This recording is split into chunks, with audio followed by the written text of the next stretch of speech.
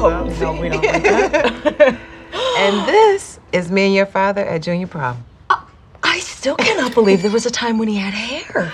Girl, yes. And he used to tell everybody he put juices and berries in it. Oh. Okay, ladies, we cannot stroll down Billy Baker memory lane without memorabilia, or as I like to call it, memorabilia. I hope you're okay with me inviting Denise to the interview. Besides me, no one was a bigger fan, or in her case, I won't say stalker, of your father in high school. Listen, the more the merrier.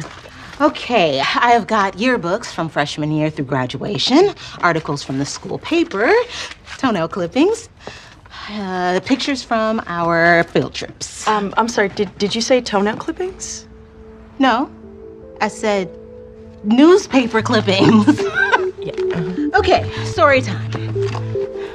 Picture it Crenshaw, 1992.